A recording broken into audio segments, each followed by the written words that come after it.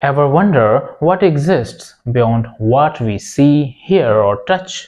Imagine a world where colors are invisible, sounds are beyond reach, and spaces are hidden in plain sight. This is the reality we live in, limited by our own senses. Our perception is bound by the tools we are born with. Human eyes only detect a narrow band of light called visible light Yet, there is so much more out there. Infrared light, ultraviolet rays, X-rays and radio waves are everywhere, but we cannot see them without special tools. Some animals can detect these invisible wavelengths. Bees, for example, see ultraviolet light, helping them find flowers. But to us, it's a hidden world.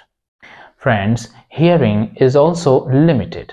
Our ears pick up sounds from about 20 Hz to 20,000 Hz. Anything below or above this range is out of reach.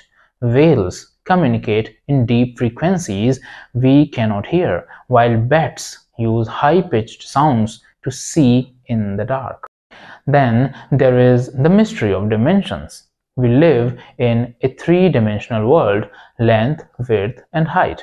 But theories in physics suggest there may be more dimensions, hidden ones that we cannot experience. Advanced ideas like string theory propose up to 11 dimensions, with these extra dimensions folded so tightly that they are invisible to us. Finally, what about the mind? Many scientists believe our brain has limits, preventing us from fully understanding certain aspects of reality some knowledge like the nature of consciousness or the start of the universe might be beyond our grasp. So, what lies beyond human perception? Friends, it's a reminder that our senses are just the beginning. There is always more to discover if only we could see it. Thank you for watching and for more such videos don't forget to subscribe to my YouTube channel Engineering Made Easy and press the bell icon for more updates. Thank you for watching once again.